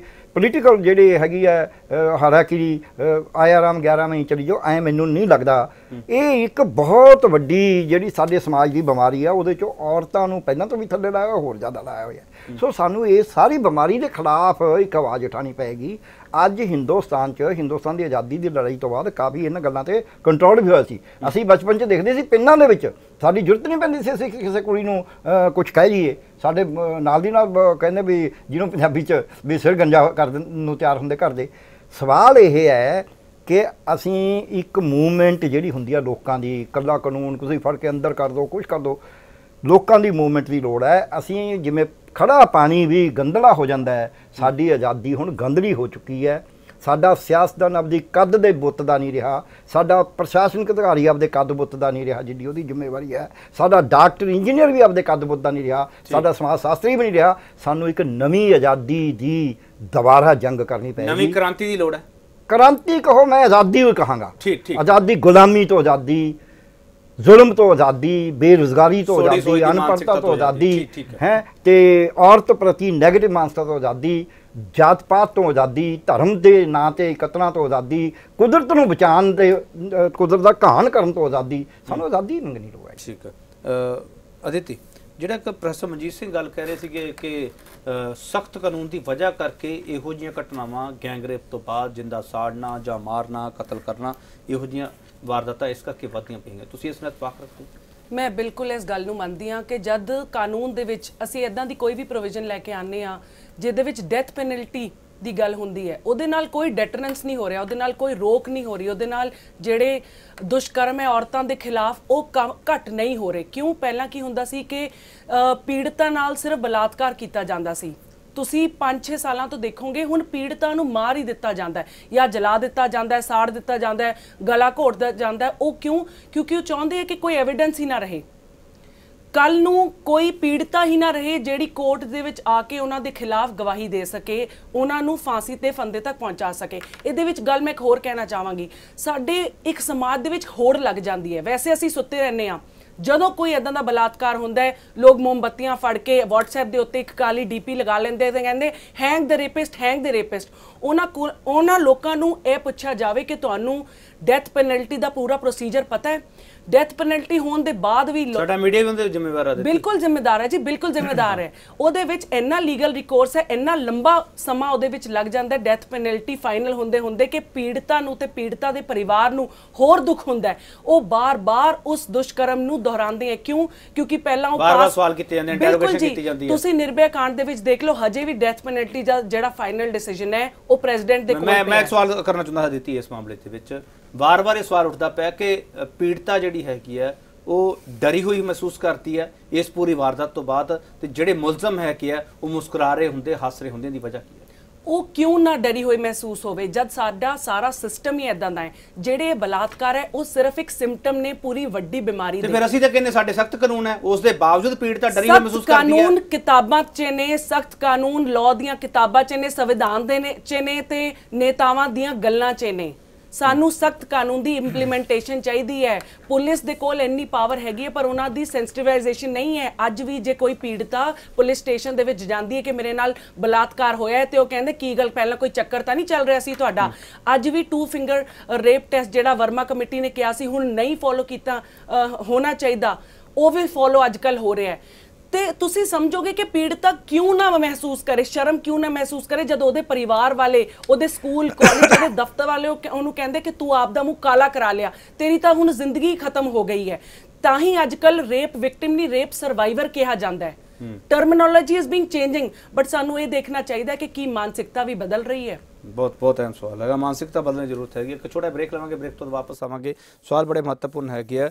ਕਾਨੂੰਨ ਸਖਤ ਕਿੰਨਾ ਹੋਣਾ ਚਾਹੀਦਾ ਕਾਨੂੰਨ ਸਖਤ ਹੈਗਾ ਜਾਂ ਨਹੀਂ ਹੈਗਾ, ਕਾਨੂੰਨ ਜ਼ਮੀਨੀ ਤੌਰ ਤੇ ਕਿੰਨਾ ਆਪਦਾ ਕੰਮ ਕਰ ਪਾ ਰਿਹਾ ਪਾ ਰਿਹਾ ਹੈਗਾ, ਇਹ ਆਪਣੇ ਆਪੇ ਸਵਾਲ ਹੈਗਾ ਤੇ ਸਭ ਕੁਝ ਸਵਾਲ ਹੈ ਇੱਛਾ ਸ਼ਕਤੀ ਤੇ ਡਿਪੈਂਡ ਹੈਗੀ ਹੈ ਚਾਹੇ ਉਹ ਰਾਜਨੀਤੀ ਦੀ ਇੱਛਾ ਸ਼ਕਤੀ ਹੋਵੇ, ਚਾਹੇ ਉਹ ਜੁਡੀਸ਼ੀਅਲ ਸਿਸਟਮ ਦੀ ਇੱਛਾ ਸ਼ਕਤੀ ਹੋਵੇ, ਚਾਹੇ ਸਾਡੇ ਵਰਗੇ ਮੀਡੀਆ ਘਰਾਣਿਆਂ ਦੀ ਇੱਛਾ ਸ਼ਕਤੀ ਹੋਵੇ, ਜਦੋਂ ਦਿਲ ਕਰਦਾ, ਉਦੋਂ ਲੋਕ ਲਹਿਰ ਦੇ ਨਾਲ ਜੁੜਨਾ ਆਦਤ ਬਣ ਚੁੱਕੀ ਹੈ ਕਿ ਹੈ ਅਸਲ ਮੁੱਦਾ ਕੀ ਹੈ ਕਿ ਉਸ ਤੋਂ ਭਟਕਾਉਣ ਦੀ ਕੋਸ਼ਿਸ਼ ਕੀਤੀ ਜਾ ਰਹੀ ਹੈ ਕਿ ਹੈ ਸਵਾਲ ਇਹ ਵੀ ਪੁੱਛਿਆ ਜਾਵੇਗਾ ਕਿ ਫਾਂਸੀ ਹੀ ਪੂਰੀ ਸਮੱਸਿਆ ਦਾ ਹੱਲ ਹੈਗਾ। ਇਸ ਸਵਾਲ ਦਾ ਜਵਾਬ ਪਹਿਲਾਂ ਆ ਚੁੱਕਿਆ ਪਰ ਇਹ ਦੁਬਾਰਾ ਪੁੱਛਣਾ ਲਾਜ਼ਮੀ ਹੈ, ਕਿਉਂਕਿ ਵਾਰ-ਵਾਰ ਫਾਂਸੀ ਦੀ ਗੱਲ ਕੀਤੀ ਜਾ ਰਹੀ, ਬ੍ਰੇਕ ਤੋਂ ਵਾਪਸ ਆ ਰਿਹਾ ਸਵਾਲ ਇੱਕੋ ਪੁੱਛ ਰਹੇ ਬਲਾਤਕਾਰੀਆਂ ਨੂੰ ਜਨਤਾ ਦੇ ਹਵਾਲੇ ਕਰਨ ਦੀ ਮੰਗ ਤੇ ਸਰਕਾਰਾਂ ਕੋਲੇ ਕੀ ਜਵਾਬ ਹੈਗਾ। ਪ੍ਰਸਤ ਮਨਜੀਤ ਸਿੰਘ ਜਦੋਂ ਅਦਿਤੀ ਆਪਣਾ ਆਰਗੂਮੈਂਟ ਰੱਖ ਰਹੀ ਸੀ ਤੇ ਉਦੋਂ ਤੁਹਾਡਾ ਨਾ ਪੱਖੀ ਰਵਈਆ ਮੈਨੂੰ ਨਜ਼ਰ ਆ ਰਿਹਾ ਸੀ, ਨਾ ਪੱਖੀ ਇਸ਼ਾਰੇ ਹੋ ਰਹੇ ਸੀਗੇ। ਉਹਦੀ ਵਜ੍ਹਾ ਕੀ ਹੈ ਹੈ? ਤੁਸੀਂ ਅਦਿਤੀ ਦੇ ਕਿਹੜੇ ਆਰਗੂਮੈਂਟ ਨਾਲ ਅਸਹਿਮਤ ਹੋ? ਨਹੀਂ ਬਾਕੀ ਸਾਰੀ ਗੱਲ ਠੀਕ ਹੈਗੀ ਆ, ਕੋਈ ਮੈਂ ਅਸਹਿਮਤੀ ਵਾਲੀ ਗੱਲ ਨਹੀਂ ਹੈ ਕਿ ਜਦੋਂ ਤੁਸੀਂ ਜਦੋਂ ਕਾਨੂੰਨ ਨੂੰ ਸਖਤ ਕਰਦੇ ਆ, ਤੇ ਨਾਲ ਸਵਾਲ ਇਹ ਹੁੰਦਾ ਕਿ ਕਾਨੂੰਨ ਕੱਲਾ ਜਦੋਂ ਤੁਹਾਨੂੰ ਯਾਦ ਹੈ ਕਿ ਜਦੋਂ ਵਰਮਾ ਜਿਹੜੀ ਆ ਨਿਰਭਇਆ ਵਾਲਾ ਕਾਂਡ ਸੀਗਾ ਤੇ ਉੱਥੇ ਕਮਿਸ਼ਨ ਬਣਾਇਆ ਸੀ, ਤੇ ਉਹ ਕਾਨੂੰਨ ਦੀ ਰੋਜ਼ ਆ ਰਿਹਾ ਸੀ ਵੀ ਆਹ ਕਰਤਾ ਆਹ ਕਰਤਾ ਆਹ ਕਰਤਾ ਰਿਪੋਰਟ ਆ ਗਈ ਕਿ ਬਹੁਤ ਸਖਤ ਕਾਨੂੰਨ ਕਰਤਾ ਜੀ, ਔਰਤਾਂ ਨੂੰ ਬੜਾ ਸਸ਼ਕਤ ਕਰਤਾ। ਪਰ ਉਸ ਸਮੇਂ ਦੇ ਦੌਰਾਨ ਹੀ ਜਿਹੜਾ ਆ, ਰੇਪ ਹੋ ਰਹੇ ਸੀਗੇ, ਦਿੱਲੀ ਦੇ ਅੰਦਰ ਹੋ ਰਹੇ ਸੀ ਕਿਤੇ ਬਾਹਰ ਨਹੀਂ ਸੀ ਹੋ ਰਹੇ।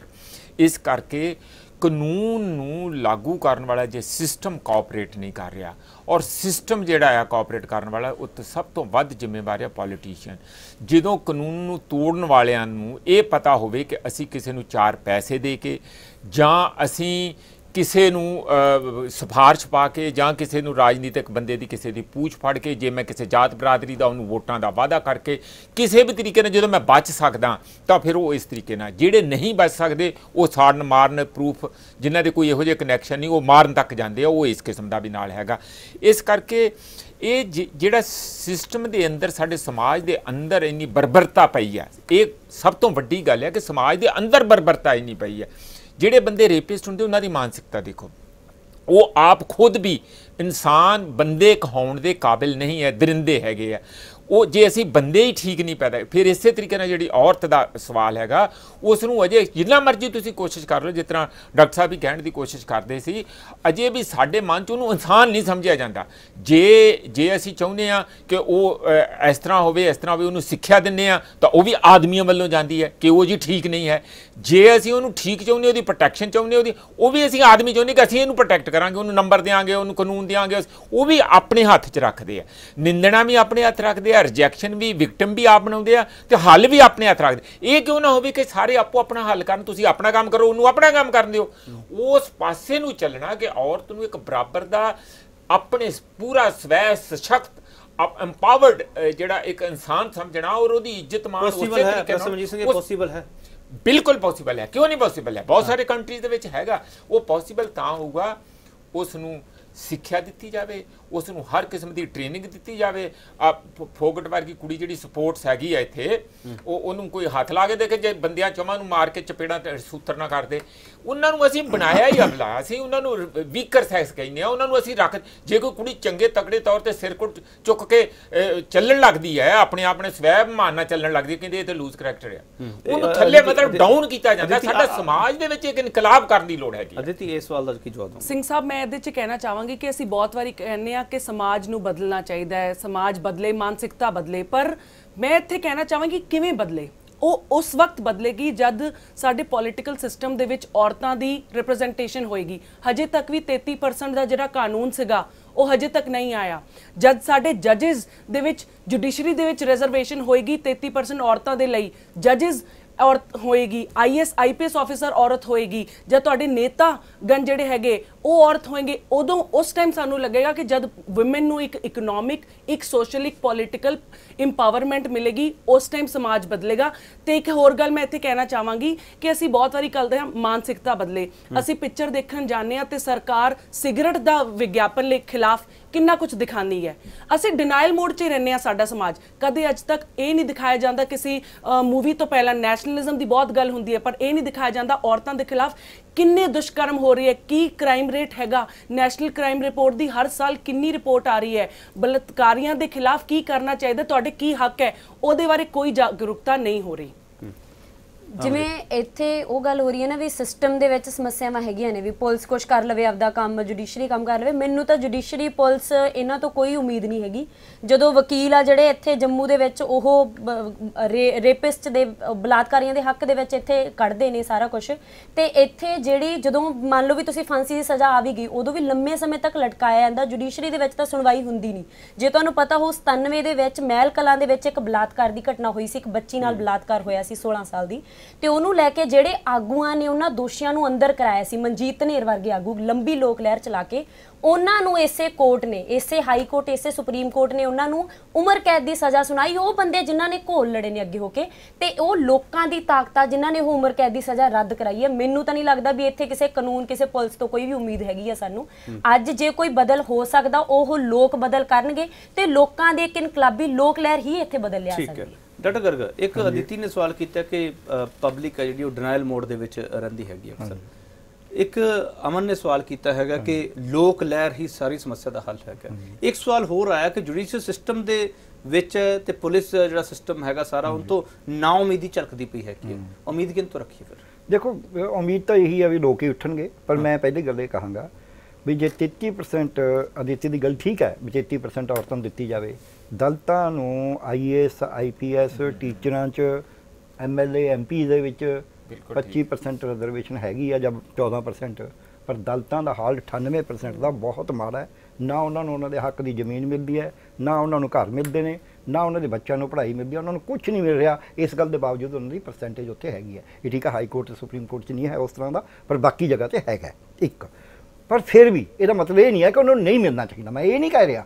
ਮੈਂ ਇਹ ਕਹਿ ਰਿਹਾ ਵੀ ਉਹਦੇ ਵਿੱਚੋਂ ਜੇ ਅਸੀਂ ਇਹ ਉਮੀਦ ਕਰਾਂਗੇ ਕਿ ਸ਼ਾਇਦ ਕੋਈ ਬਹੁਤ ਵੱਡਾ, ਇੱਕ ਤਾਂ ਉਹ ਨਹੀਂ ਆਣਾ ਦੂਜਾ ਮੈਂ ਇਹ ਗੱਲ ਕਰਾਂਗਾ ਵੀ ਸਾਡੀ ਜਿਹੜੀ ਜਦ ਜਿਹੜਾ ਪੈਸੇ ਵਾਲਾ ਹੈ, ਤਾਕਤ ਵਾਲਾ ਹੈ, ਉਹ ਡੋਰ ਖਿੱਚਦਾ ਕਾਨੂੰਨ ਦੀ। ਸਾਡਾ ਕਾਨੂੰਨ ਕੋਈ ਇਨਸਾਫ ਨਹੀਂ ਕਰਦਾ। ਇੱਕ ਵਕੀਲ ਨਾਲ ਮੇਰੀ ਗੱਲ ਹੋ ਰਹੀ ਸੀ। ਮੈਂ ਹੁਣ ਤਾਂ ਚਲੋ ਅਦਾਲਤ 'ਚ ਦੁੱਧ ਦਾ ਦੁੱਧ ਕਹਿੰਦਾ ਜੀ ਕੋਈ ਦੁੱਧ ਦਾ ਦੁੱਧ, ਪਾਣੀ ਦਾ ਪਾਣੀ ਨਹੀਂ ਹੁੰਦਾ। ਇਹ ਇੱਕ ਛਾਲਣਾ ਹੈ। ਇਹਦੇ ਜਿਹੜਾ ਕੁਝ ਉੱਤੋਂ ਪਾਈ ਜਾਂਦੇ ਨੇ, ਥੱਲੇ ਨਿਕਲ ਜਾਂਦਾ। ਥੱਲੇ ਹੋਏ ਨਿਕਲੇ ਨੂੰ ਕਹਿੰਦਾ ਅਸੀਂ ਜੁਡੀਸ਼ੀਅਲ ਸੱਚ। ਇਹ ਜੁਡੀਸ਼ੀਅਲ ਸੱਚ ਹੈ ਕੋਈ ਜ਼ਰੂਰੀ ਨਹੀਂ ਵੀ ਸੱਚ ਹੋਵੇ। ਸੋ ਸਮਾਨੇ ਦੇ ਲਾਗੇ ਇੱਕ ਦਲਤ ਕੁੜੀ ਦਾ ਰੇਪ ਕੀਤਾ ਗਿਆ 10ਵੀਂ 11ਵੀਂ ਚ ਪੜ੍ਹਦੀ ਦਾ। ਪੁਲਿਸ ਨੇ ਇਨਕੁਆਇਰੀ ਚ ਉਹਦੀ ਇੰਨੀ ਕਰੀ ਸਵਾਲ ਪੁੱਛ ਪੁੱਛ ਕੇ ਉਹ ਖੁਦਕੁਸ਼ੀ ਕਰ ਗਈ। ਔਰ ਹਾਈ ਕੋਰਟ ਨੂੰ ਆਰਡਰ ਕਰਨਾ ਪਿਆ ਕਿ ਜਿਹੜਾ ਹੈਗੇ ਨੇ ਦੋਸ਼ੀ ਤੇ ਜਿਹੜਾ ਥਾਣੇਦਾਰ ਇਹਨੂੰ ਫੜਿਆ ਜਾਵੇ। ਪੁਲਿਸ ਨੇ ਨਹੀਂ ਕੁਝ ਕਰਿਆ ਉਹ ਸੁਈਸਾਈਡ ਕਰ ਗਈ ਵਿਚਾਰੀ। ਤੁਸੀਂ ਹੱਦ ਦੇਖੋ ਜਦ ਇੱਕ ਔਰਤ ਮੈਂ ਕੋਟਨ ਜਾਨਾ, ਕਿਉਂਕਿ ਇਹ ਕੇਸ ਸਾਡੇ ਕੋਲ ਆਉਂਦੇ ਨੇ ਮੈਡੀਕਲ ਲੀਗਲ ਕੇਸ 'ਚ।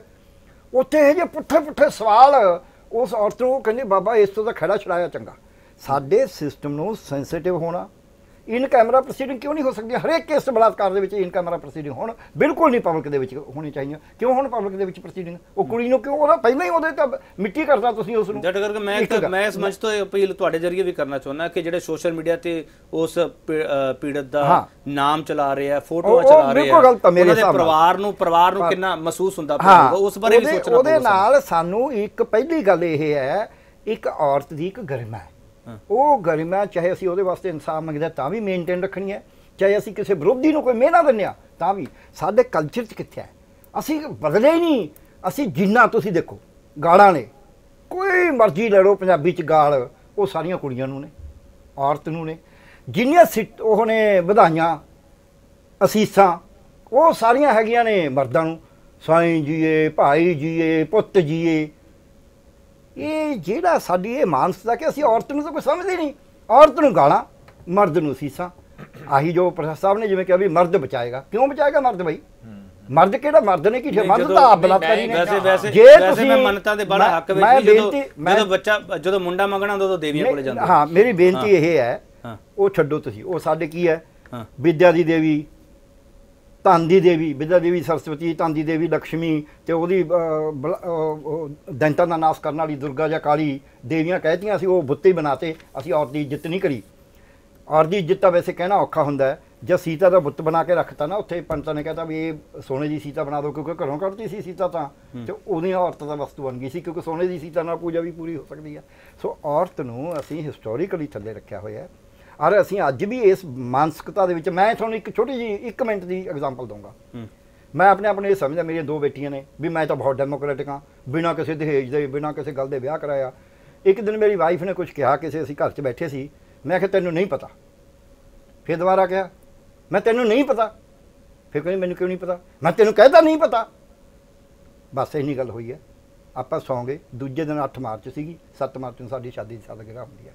ਹੁਸ਼ਿਆਰਪੁਰ ਮੈਂ ਦੇਣਾ ਸੀ ਵੂਮਨ ਡੇ ਤੇ ਲੈਕਚਰ ਤੇ ਸਵੇਰੇ ਉੱਠੀ ਮੇਰੀ ਪਤਨੀ। ਡਾਕਟਰ ਸਾਹਿਬ, ਉੱਠ ਖੜੋ 4 ਵਜੇ। ਮੈਂ ਨਹੀਂ ਉੱਠਦਾ। ਉੱਠ ਖੜੋ, ਮੈਂ ਨਹੀਂ ਉੱਠਦਾ। ਹਾਲੇ ਕੱਢੇ ਉਹਨੇ ਦੋ ਤਿੰਨ ਦਿਨ। ਕਹਿੰਦੀ, ਉੱਥੇ ਜਾ ਕੇ ਲੈਕਚਰ ਕਰੋਗੇ। ਔਰਤ ਨੂੰ ਬਰਾਬਰਤਾ ਦੇਣੀ ਹੈ। ਘਰ 'ਚ ਔਰਤ ਨੂੰ ਬਰਾਬਰ ਮੈਂ ਉਹ ਸੱਚੀ ਮੁੱਚੀ ਮੈਨੂੰ ਐਂ ਲੱਗਿਆ, ਬਿਜਲੀ ਚਮਕ ਗਈ ਮੇਰੇ ਅੰਦਰ ਵੀ ਯਾਰ ਗੱਲ ਤਾਂ ਸੱਚੀ ਹੈ। ਫੇਰ ਕੀ ਹੋ ਗਿਆ? ਇਹਦੀ ਗੱਲ ਗਲਤ ਹੋਵੇ, ਠੀਕ ਹੋਵੇ, ਇਹਨੂੰ ਬੋਲਣ ਦਾ ਤਾਂ ਅਧਿਕਾਰ ਹੈ। ਜਿਹੜੇ ਬੰਦੇ ਅਸੀਂ 30 ਮਾਰਖਾਂ ਕਹਾਉਣੇ ਆ, ਜੇ ਉਹਨਾਂ ਦਾ ਇਹ ਹਾਲ ਹੈ ਤੁਸੀਂ ਹਿਸਾਬ ਲਾਓ ਜਿਹੜੇ ਨਹੀਂ 30 ਮਾਰਖਾਂ ਉਹਨਾਂ ਦਾ ਕੀ ਚਲੋ ਅਸੈਪਟ ਕਰਨਾ ਵੀ ਬਹੁਤ ਵੱਡੀ ਗੱਲ ਹੈ। ਅਗਰ ਤੁਸੀਂ ਅਸੈਪਟ ਕਰ ਰਹੇ ਹੋ ਬਹੁਤ ਵੱਡੀ ਗੱਲ ਹੈਗੀ ਆ। ਇੱਕ ਛੋਟਾ ਹੋਰ ਬ੍ਰੇਕ ਲਵਾਂਗੇ ਬ੍ਰੇਕ ਤੋਂ ਵਾਪਸ ਆਵਾਂਗੇ। ਸਵਾਲ ਸੋਸ਼ਲ ਮੀਡੀਆ ਤੇ ਹੋਰ ਵੀ ਤੈਰ ਰਹੇ ਹੈਗੇ ਉਹਨਾਂ ਸਵਾਲਾਂ ਦੇ ਜਵਾਬ ਵੀ ਅਸੀਂ ਮੰਗਾਂਗੇ। ਪਰ ਜਿਹੜਾ ਸਵਾਲ ਅਦਿਤੀ ਨੇ ਉਠਾਇਆ ਹੈਗਾ ਕਿ ਅਸੀਂ ਵਾਰ-ਵਾਰ ਫਾਂਸੀ ਦੀ ਮੰਗ ਕਰਦੇ ਹੈਗੇ ਉਹਦਾ ਪ੍ਰੋਸੀਜਰ ਕੀ ਹੈਗਾ ਉਸ ਨੂੰ ਸਮਝਣ ਦੀ ਵੀ ਜ਼ਰੂਰਤ ਹੈਗੀ। ਬ੍ਰੇਕ ਤੋਂ ਬਾਅਦ ਵਾਪਸ ਆ ਕੇ ਇਸ ਨੂੰ ਸਮਝਣਾ ਜ਼ਰੂਰੀ ਹੈ। ਸਵਾਲ ਇੱਕੋ ਪੁੱਛ ਰਹੇ ਹਾਂ ਅਸੀਂ ਵੱਡਾ ਸਵਾਲ ਅਸੀਂ ਇਹ ਪੁੱਛ ਰਹੇ ਹਾਂ ਬਲਾਤਕਾਰੀਆਂ ਨੂੰ ਜਨਤਾ ਦੇ ਹਵਾਲੇ ਕਰਨ ਦੀ ਮੰਗ ਤੇ ਸਰਕਾਰਾਂ ਕੋਲ ਕੀ ਜਵਾਬ ਹੈਗਾ? ਅਦਿਤੀ, ਜਿਹੜੇ ਮੰਗ ਕਰਦੇ ਪਏ ਹੈਗਾ ਕਿ ਫਾਂਸੀ ਦੇ ਦਿਓ ਇੱਕ ਮੰਗ ਇਹ ਵੀ ਚੱਲ ਰਹੀ ਹੈਗੀ ਹੈ ਕਿ 5 ਵਜੇ 47 ਮਿੰਟ ਤੇ ਮੁਲਜ਼ਮ ਫੜ ਲਓ ਤੇ 8 ਵਜੇ ਫੈਸਲਾ ਸੁਣਾ ਦਿਓ ਇਦਾਂ ਕਿਉਂ ਨਹੀਂ ਕਰ ਸਕਦੀ ਸਰਕਾਰ? ਰਾਤ ਨੂੰ ਕੋਰਟ ਖੋਲੋ ਅਦਾਲਤਾਂ ਖੋਲੋ ਪਹਿਲਾਂ ਵੀ ਤੁਸੀਂ ਖੋਲੀਆਂ ਹੋਈਆਂ ਹੈਗੀਆਂ। ਉਹਨਾਂ ਨੂੰ ਕੀ ਜਵਾਬ ਦਿੱਤਾ ਜਾਵੇ ਅਦਿਤੀ?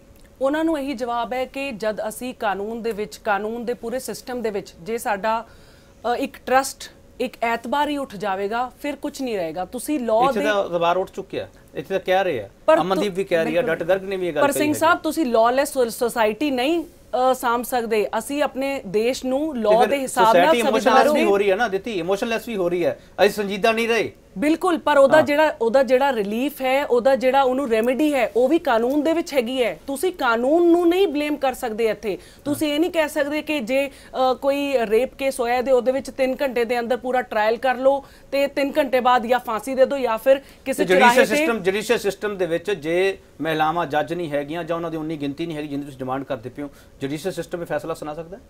ਮੇਰਾ ਕਹਿਣ ਦਾ ਮਤਲਬ ਉਹ ਭਾ ਇਹ ਸੀ ਕਿ ਜਦ ਰਿਪਰੈਜ਼ੈਂਟੇਸ਼ਨ ਔਮਨ ਦੀ judicial system political system judicial system ਇਹ ਤੈਅ ਕਰ ਸਕਦਾ ਹੈ ਕਿ ਔਮਨ ਦੀ ਨੁਮਾਇੰਦਗੀ ਕਿੰਨੀ ਹੋਣੀ ਚਾਹੀਦੀ ਹੈ ਅੱਜ ਤੱਕ ਕੀਤਾ? ਦੇਖ ਸਿੰਘ ਸਾਹਿਬ ਇਹ ਕਿਸੇ ਜੱਜ ਨੇ ਨਹੀਂ ਡਿਸਾਈਡ ਕਰਨਾ ਇਹ ਕਾਨੂੰਨ ਨੇ ਡਿਸਾਈਡ ਕੌਣ ਕਰਨਾ। decide ਹੈ। ਕਰ ਰਿਹਾ? ਕਾਨੂੰਨ ਨੂੰ ਡਿਸਾਈਡ ਕਰਨਾ ਚਾਹੀਦਾ ਹੈ। ਤੁਸੀਂ ਇੱਕ ਬੰਦੇ ਨੂੰ ਇੱਕ ਨੇਤਾ ਤੋਂ ਇੱਕ ਪਾਰਟੀ ਤੋਂ ਨਹੀਂ ਇਹ ਅਪੇક્ષਾ ਰੱਖ ਸਕਦੇ ਕਿ ਸਾਰਾ ਕੁਝ ਉਹ ਠੀਕ ਕਰਨਗੇ।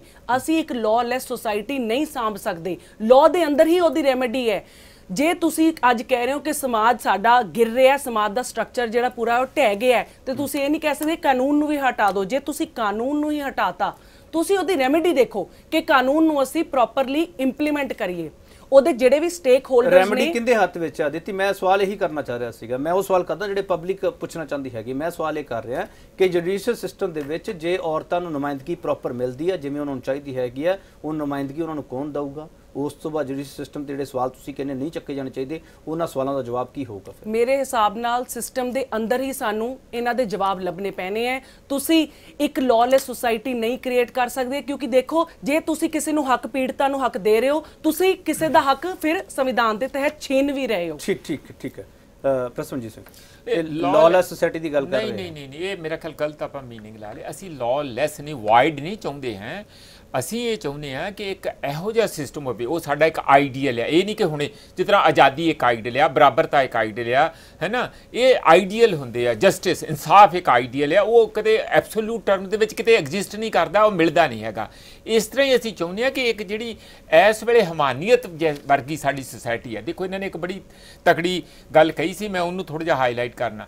ਟ੍ਰੈਡੀਸ਼ਨਲ ਸੁਸਾਇਟੀ ਵਿੱਚ ਅੱਖ ਦੀ ਸ਼ਰਮ, ਇੱਕ ਸਮਾਜ ਦਾ ਕੰਟਰੋਲ ਪਿੰਡ ਦੇ ਵਿੱਚ ਆਪਣੀ ਸਾਰੀਆਂ ਕੁੜੀਆਂ ਨੂੰ ਭੈਣਾਂ, ਭਰਾ ਸਮਝਣਾ, ਕਿਉਂਕਿ ਉਹ ਇੱਕ ਕਮਿਊਨਿਟੀ ਦੀ ਹੁੰਦੀ ਸੀਗੀ, ਇਹ ਬਹੁਤ ਜ਼ਿਆਦਾ ਸੀ, ਮੈਂ ਵੀ ਪਿੰਡ ਚੋਂ ਆਇਆ।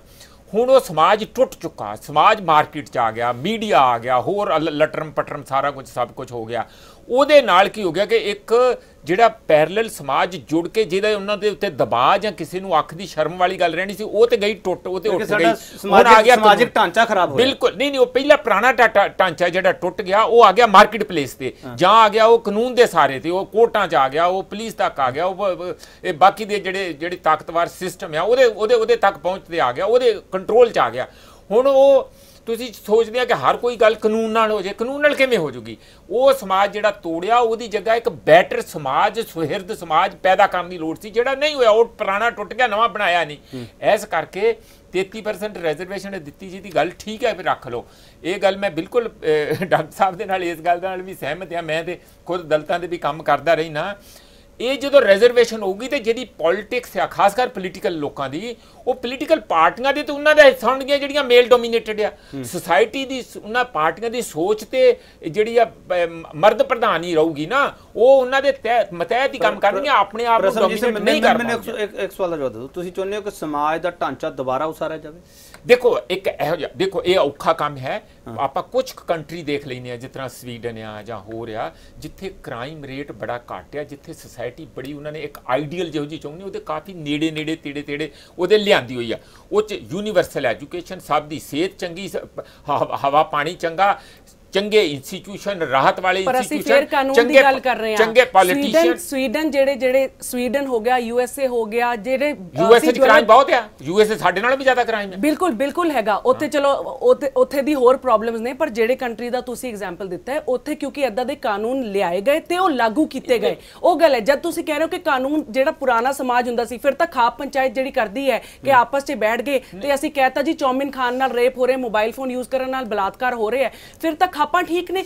ਅਸੀਂ ਆਨਰ ਕਿਲਿੰਗ ਦੀ ਗੱਲ ਜਦ ਹੁੰਦੀ ਹੈ ਉੱਥੇ ਤਾਂ ਕਾਨੂੰਨ ਨਹੀਂ ਨਹੀਂ ਆਉਂਦਾ। ਪੁਰਾਣਾ ਸੱਭਿਆਚਾਰ ਖਾਪਾ ਨਹੀਂ ਹੈ ਕੱਲਾ ਦਿੱਤੀ। ਮੈਂ ਇਸ ਗੱਲ ਇਤਫਾਕ ਮੈਂ ਉਹ। ਪੁਰਾਣੇ ਸੱਭਿਆਚਾਰ ਦੇ ਜਿਵੇਂ ਜਿਵੇਂ ਜਿਹੜੀ ਗੱਲ ਹੈ ਨਾ ਵੀ ਇਹ ਤਾਂ ਗੱਲ ਨਹੀਂ ਹੈਗੀ ਵੀ ਪੁਰਾਣੇ ਸੱਭਿਆਚਾਰ ਦੇ ਵਿੱਚ ਕੋਈ ਬਲਾਤਕਾਰ ਨਹੀਂ ਸੀ ਹੁੰਦੇ। ਆਪਾਂ ਨੂੰ ਸਭ ਨੂੰ ਪਤਾ ਉਹ ਰਿਪੋਰਟ ਨਹੀਂ ਹੋ ਰਹੇ ਸੀ ਉਦੋਂ, ਜਿਵੇਂ ਜਿ- ਜਦੋਂ ਤੁਸੀਂ ਜਿਸ ਮਰਜ਼ੀ ਔਰਤ ਨਾਲ ਗੱਲ ਕਰਕੇ ਦੇਖ ਲਓ ਮੈਂ ਲੜਕੀ ਹੋਣ ਦੇ ਨਾਤੇ ਜਦੋਂ ਥੋੜਾ ਜਿਹਾ ਇਹਨਾਂ ਚੀਜ਼ਾਂ ਬਾਰੇ ਤੁਸੀਂ ਗੱਲ ਕਰਦੇ ਹੋ ਬੱਸਾਂ ਦੇ ਵਿੱਚ ਛੇੜਖਾਨੀਆਂ ਤੋਂ ਲੈ ਕੇ ਘਰਾਂ ਦੇ ਅੰਦਰ ਤੁਹਾਡੇ ਰਿਸ਼ਤੇਦਾਰਾਂ ਤੋਂ ਤੁਹਾਡੇ ਨਾਲ ਹੁੰਦੀਆਂ ਛੇੜਖਾਨੀਆਂ ਜੋ ਕੋਈ ਵੀ ਹੈ ਆਸ-ਪਾਸ ਸਮਾਜ ਦੇ ਵਿੱਚ ਵਰਕ ਮਤਲਬ ਕਿ ਜਿਸ ਮਰਜ਼ੀ ਥਾਂ ਤੇ ਜਾਓ ਔਰਤਾਂ ਨੂੰ ਇੰਨਾ ਜ਼ਿਆਦਾ ਹਰ ਜਗ੍ਹਾ ਤੇ ਮਤਲਬ ਇੰਨੀਆਂ ਚੀਜ਼ਾਂ ਦਾ ਸਾਹਮਣਾ ਕਰਨਾ ਪੈਂਦਾ ਇਹ ਸਮਾਜ ਦੇ ਵਿੱਚ ਪਈ ਹੈ ਗੰਦਗੀ। ਤੇ ਕੋਈ ਇਹ ਨਹੀਂ ਵੀ ਪਹਿਲਾ ਸਮਾਜ ਬਿਹਤਰ ਸੀ ਪਹਿਲਾਂ ਵੀ ਗੰਦ ਸੀਗਾ ਹੁਣ ਵੀ ਹੈ। ਤੇ ਇਹ ਇਹ ਸਮਾਜ ਦੀ ਮਾਨਸਿਕਤਾ ਨੂੰ ਬਦਲਣ ਦੀ ਲੋੜ ਆ ਤੇ ਇਹ ਕੱਲੀ ਔਰਤਾਂ ਦੀ ਰਿਜ਼ਰਵੇਸ਼ਨ ਨਾਲ ਨਹੀਂ ਹੋਣਾ। ਬਿਆਨ ਕਿਰਨ ਖੇਰ ਦਾ ਸੀ ਵੀ ਇਹ ਸਾਡੇ ਕਲਚਰ ਦਾ ਹਿੱਸਾ। ਔਰਤਾਂ ਨਹੀਂ ਇਹਦੀ ਜ਼ਿੰਮੇਵਾਰ ਇਹਦੀ ਜ਼ਿੰਮੇਵਾਰ ਮਰਦ ਪ੍ਰਧਾਨ ਸੋਚ ਆ ਜਿਹੜੀ ਔਰਤਾਂ ਦੇ ਅੰਦਰ ਵੀ ਪਈ ਹੈ ਜਿਹੜੀ ਬੰਦਿਆਂ ਦੇ ਅੰਦਰ ਵੀ ਪਈ ਡਟ ਤੇ ਉਹਨੂੰ ਅੱਜ ਠੀਕ ਹੈ ਡਟ ਕਰ। ਸਾਡੇ ਕੋਲੇ ਅੰਕੜੇ ਵੀ ਬੜੇ ਪਏ ਆ ਕ੍ਰਾਈਮ ਬਿਊਰੋ ਦੇ। ਅਸੀਂ ਉਹ ਅੰਕੜੇ ਵੀ ਅੱਗੇ ਰੱਖ ਸਕਦੇ ਹਾਂ ਕਿ ਹਾਂਜੀ। 1 ਮਿੰਟ ਦੇ ਵਿੱਚ 16 ਮਿੰਟ ਦੇ ਵਿੱਚ ਕੀ ਕੁਝ ਹੋ ਰਿਹਾ। ਸਵਾਲ ਇਹ ਹੈਗਾ ਡਾਕਟਰ ਗਰਗ ਜਿਹੜਾ ਹੁਣ ਸਵਾਲ ਉੱਠਿਆ ਕਿ ਸਮਾਜਿਕ ਤਾਣਾ ਬਾਣਾ ਸਾਡਾ ਖਰਾਬ ਹੋ ਗਿਆ।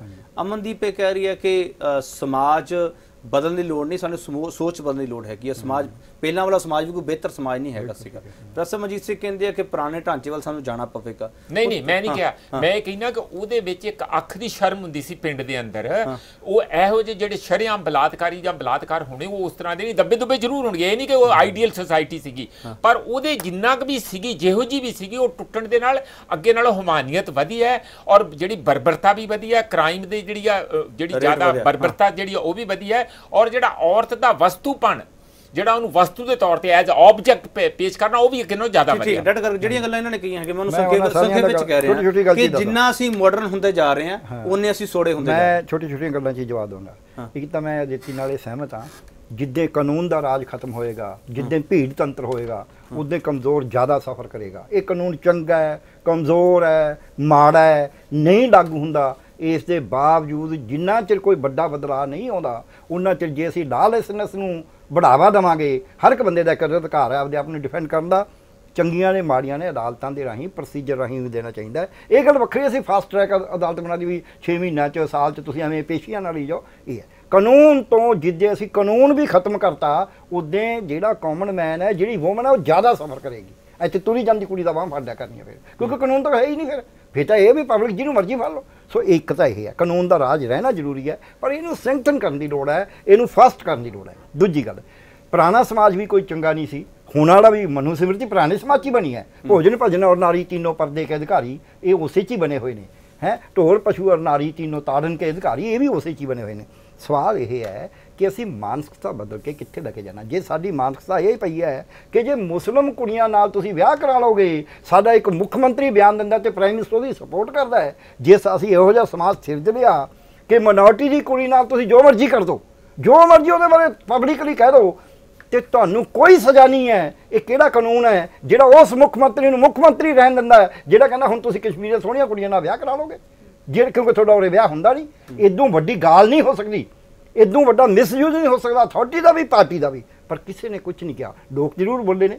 ਸੋ ਇਸ ਕਰਕੇ ਇੱਕ ਤਾਂ ਸਾਨੂੰ ਇਹ ਸਮਝਣਾ ਪਏਗਾ। ਇਹ ਮਿਨੋਰਟੀ ਵਾਲਾ ਸਵਾਲ ਬਣਦਾ ਇਸ ਡਿਬੇਟ ਦੇ ਵਿੱਚ। ਬਿਲਕੁਲ ਬੰਦਾ ਹੈ। ਬਿਲਕੁਲ ਬੰਦਾ ਹੈ। ਤੁਸੀਂ ਐਂ ਦੱਸੋ ਤੁਸੀਂ ਇਹ ਬਲਾਤਕਾਰ ਕੱਢ ਕੇ ਦੇਖ ਲਓ। ਮੁਸਲਮਾਨਾਂ ਦੇ ਦਲਿਤਾਂ ਦੇ। ਆਦੀਵਾਸੀਆਂ ਦੇ ਗਰੀਬਾਂ ਦੇ। ਇਹਨਾਂ ਦੇ ਮੈਕਸਿਮਮ ਹੁੰਦੇ ਨੇ। ਬਾਕੀ ਠੀਕ ਹੈ ਕਿਉਂਕਿ ਔਰਤਾਂ ਬਾਹਰ ਜਾਣ ਲੱਗ ਗਈਆਂ ਹੁਣ। ਅੱਗੇ ਕਹਿੰਦੇ ਹੁੰਦੇ ਜੀ ਪੜੀਆਂ ਲਿਖੀਆਂ ਨੇ ਹੁਣ ਤਾਂ ਪੜੀਆਂ ਲਿਖੀਆਂ ਦੇ ਬਥੇਰੇ ਹੋ ਰਹੇ ਨੇ। ਪਰ ਬਹੁਤੇ ਨੇ ਇੱਥੇ ਇੱਥੇ ਵਾਈਸ ਚਾਂਸਲਰ ਦੇ ਖਿਲਾਫ ਇੱਕ ਪ੍ਰੈਜ਼ੀਡੈਂਟ ਆਫ ਰਹੀ ਹੈ ਹੁਣ ਵੀ ਹੈ ਸ਼ਾਇਦ ਟੀਚਰ ਯੂਨੀਅਨ ਦੀ ਪੰਜਾਬ ਯੂਨੀਵਰਸਿਟੀ ਉਹਨੂੰ ਇਨਸਾਫ ਨਹੀਂ। ਬਾਬਾ ਫਰੀਦ ਯੂਨੀਵਰਸਿਟੀ ਚ ਸਟਰਗਲ ਚੱਲ ਰਿਹਾ ਸੋ ਔਰਤਾਂ ਦੇ ਪੜ੍ਹਨ ਲਿਖਣ ਨਾਲ ਵੀ ਬਲਾਤਕਾਰ ਨਹੀਂ ਘਟ ਰਹੇ। ਇਹ ਫਿਰ- ਹੱਲ ਹੈ ਕੋਈ? ਹੁਣ ਹਾਂ ਹਾਂ ਹੱਲ ਹੈ ਇਹੀ ਮੈਂ ਕਹਿਣਾ। ਹੱਲ ਮੈਂ ਇਹਨਾਂ ਨਾਲ ਐਗਰੀ ਕਰਦਾ ਸਾਨੂੰ ਪ੍ਰੋਫੈਸਰ ਸਾਹਿਬ ਨੇ ਵੀ ਕਿਹਾ ਉਹਨਾਂ ਨੇ ਵੀ ਥੋੜਾ ਜਿਹਾ ਕਿਹਾ ਸਾਨੂੰ ਸਮਾਜ ਦੀ ਮਾਨਸਿਕਤਾ ਵੀ ਨਾਲ ਨਾਲ ਬਦਲਣੀ ਪਏਗੀ ਇੱਕ ਮੂਵਮੈਂਟ ਬਣਾਉਣੀ ਪਏਗੀ ਜਿਵੇਂ ਇਹ ਚਾਹੇ ਇਹ ਸੋਸ਼ਲ ਮੀਡੀਆ ਤੇ ਕਹੀ ਜਾਂਦੇ ਨੂੰ ਫਾਹੇ ਲਾ ਦੋ ਫਾਹੇ ਫੂਏ ਤਾਂ ਨਹੀਂ ਪਰ ਜੇ ਸੋਸ਼ਲ ਮੀਡੀਆ ਤੇ ਕੁਝ ਲੋਕ ਉੱਠਦੇ ਨੇ ਜੇ ਇੱਕ ਬਲਾਤਕਾਰ ਦੇ ਅਗੇਂਸਟ ਉੱਠਦੇ ਨੇ 2000 ਬਲਾਤਕਾਰ ਉਹਦੇ ਅਗੇਂਸਟ ਐਸਾ ਹੁੰਦਾ ਜਿਹੜਾ ਬਿਲਕੁਲ ਅਨਨੋਟਿਸਡ ਜਾ ਰਿਹਾ ਸੋ ਸਾਨੂੰ ਸੋਸ਼ਲ ਮੂਵਮੈਂਟ ਬਣਾਉਣ ਦੀ ਲੋੜ ਹੈ। ਭਾਈਚਾਰੇ ਨੂੰ ਮੁੜ ਕੇ ਭਾਈਚਾਰੇ ਨੂੰ ਨਵੇਂ ਸੰਦਰਭ ਦੇ ਵਿੱਚ ਦੇਖਣ ਦੀ ਲੋੜ ਹੈ ਚਲੋ ਤਾਂ ਹੱਲ। ਚਲੋ, ਬਹੁਤ ਧੰਨਵਾਦ ਡਾਕਟਰ ਗਰਗ ਤੁਹਾਡਾ, ਅਦਿਤੀ ਤੁਹਾਡਾ ਬਹੁਤ ਧੰਨਵਾਦ, ਅਮਨਦੀਪ ਤੁਹਾਡਾ ਬਹੁਤ ਧੰਨਵਾਦ ਪ੍ਰਸਮਨਜੀਤ ਸਿੰਘ ਤੁਹਾਡਾ ਬਹੁਤ ਧੰਨਵਾਦ। ਅਸੀਂ ਸੰਜੀਦਾ ਚਰਚਾ ਕਰਨ ਦੀ ਕੋਸ਼ਿਸ਼ ਕੀਤੀ ਹੈਗੀ ਹੈ, ਬਹੁਤੇ ਸਵਾਲਾਂ ਦੇ ਜਵਾਬ ਲੱਭਣ ਦੀ ਕੋਸ਼ਿਸ਼ ਕੀਤੀ ਹੈਗੀ ਹੈ। ਸਿਸਟਮ ਨੂੰ ਦਰੁਸਤ ਕਰਨ ਦੀ ਲੋੜ ਹੈਗੀ ਹੈ, ਸਾਡੀ ਮਾਨਸਿਕਤਾ ਨੂੰ ਬਦਲਣਾ ਪਵੇਗਾ, ਮਾਨਸਿਕਤਾ ਤਾਂ ਹੀ ਬਦਲ ਜਾਵੇਗੀ ਜੇ ਉਹ ਸਿਸਟਮ ਹੈ ਜਿਹੜਾ ਸਾਨੂੰ ਅੱਗੇ ਵਧਣ ਦੇਵੇਗਾ। ਜੇ ਸਿਸਟਮ ਅੱਗੇ ਨਹੀਂ ਵਧਣ ਦੇਵੇਗਾ, ਫਿਰ ਕੱਲੀ ਮਾਨਸਿਕਤਾ, ਕੱਲੀ ਸੋਚ ਹੈ ਜਿਹੜੀ, ਉਹ ਅੱਗੇ ਨਹੀਂ ਵੱਧ ਸਕਦੀ, ਨਹੀਂ ਵੱਧ ਸਕਦੀ। ਸਾਰਾ ਕੁਝ ਸਮਾਜ ਤੇ ਵੀ ਨਹੀਂ ਪਾਇਆ ਜਾ ਸਕਦਾ, ਸਾਰਾ ਕੁਝ ਸਰਕਾਰਾਂ ਤੇ ਵੀ ਨਹੀਂ ਪਾਇਆ ਜਾ ਸਕਦਾ। ਕੁੱਲ ਮਿਲਾ ਕੇ ਸਾਰਿਆਂ ਨੂੰ ਇਕੱਠੇ ਹੋ ਕੇ ਹੁੰਗਾਰਾ ਭਰਨਾ ਪਵੇਗਾ, ਮਿਲ ਕੇ ਕੰਮ ਕਰਨਾ ਪਵੇਗਾ। ਪਰ ਇਸ ਸਭ ਦੇ ਨਾਲ ਸਾਰੇ ਮਸਲਿਆਂ ਦਾ ਹੱਲ, ਜਿਹੜਾ ਕੁਝ ਵੀ ਹੁਣ ਗੈਰ ਕਾਨੂੰਨੀ ਹੋ ਰਿਹਾ, ਜਿਹੜੇ ਕੁਝ ਵੀ ਕਾਨੂੰਨ ਤੋੜੇ ਜਾ ਰਹੇ ਹੈਗੇ, ਹਵਾਨੀਅਤ ਹੋ ਰਹੀ ਹੈ ਕਿ ਉਹਦਾ ਹੱਲ ਲੋਕ ਲਹਿਰ ਹੈ। ਜੋ ਤੁਸੀਂ ਸੌਂਗੇ, ਫਿਰ ਸਰਕਾਰਾਂ ਵੀ ਸੋ ਜਾਣਗੀਆਂ। ਜਾਗਦੇ ਰਹੋ। ਬਹੁਤ ਧੰਨਵਾਦ